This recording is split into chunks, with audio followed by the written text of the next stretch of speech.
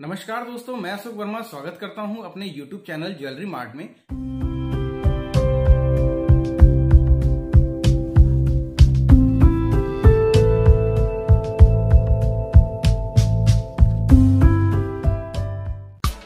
आज इस वीडियो में आप देखेंगे टू पीसेस वाले गोल्ड कड़े के डिज़ाइन जो कि बहुत सुंदर हैं। काफ़ी फ्लावर में बने हुए हैं ये कड़े। इनका वज़न 26 ग्राम से लेकर के 28 ग्राम के बीच में है और जो प्राइस का कैलकुलेशन किया गया है, वो एक एवरेज रेट फोर्टी एट के हिसाब से किया गया है।